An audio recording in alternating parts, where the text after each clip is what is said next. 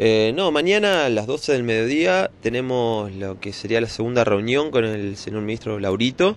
Estamos citados a las 12 del mediodía, como ya dije, eh, en el despacho de él.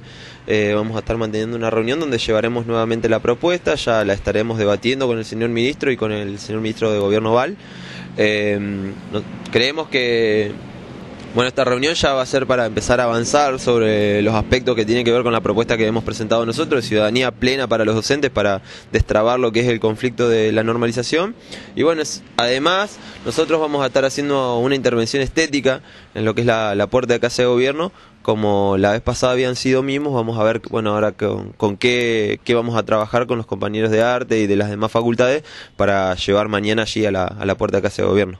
Finalmente la movilización del viernes se suspendió, ¿la piensan realizar eh, durante esta semana?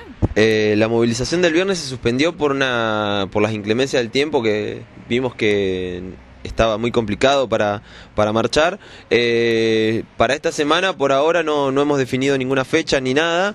Pero seguimos con las actividades aquí en Rectorado. Hoy, por ejemplo, por la tarde vamos a estar teniendo una clase pública a las 5 de la tarde, donde el diputado nacional Jorge Cardelli nos va a hablar, va a venir a, aquí a la toma de rectorado, viene desde Buenos Aires, está llegando en unos minutos aquí a Paraná y bueno, vamos a estar este sosteniendo una clase pública con él, él es co-redactor del Estatuto de la Universidad de Río Cuarto y es un es un docente de, muchos años, así que bueno, vamos a estar con él trabajando lo que es autonomía y democracia universitaria.